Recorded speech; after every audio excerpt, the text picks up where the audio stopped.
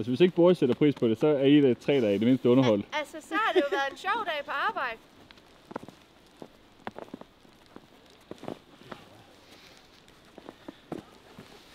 Søren, din tosk. Ej. Og så har vi så øh, skåret et dufthul ind til kødet. Ja, fordi nogle Nå, er gange det reagerer de alligevel ikke helt som forventet. Så er det ligesom om, at han ikke reagerer på det. Men nu ser vi.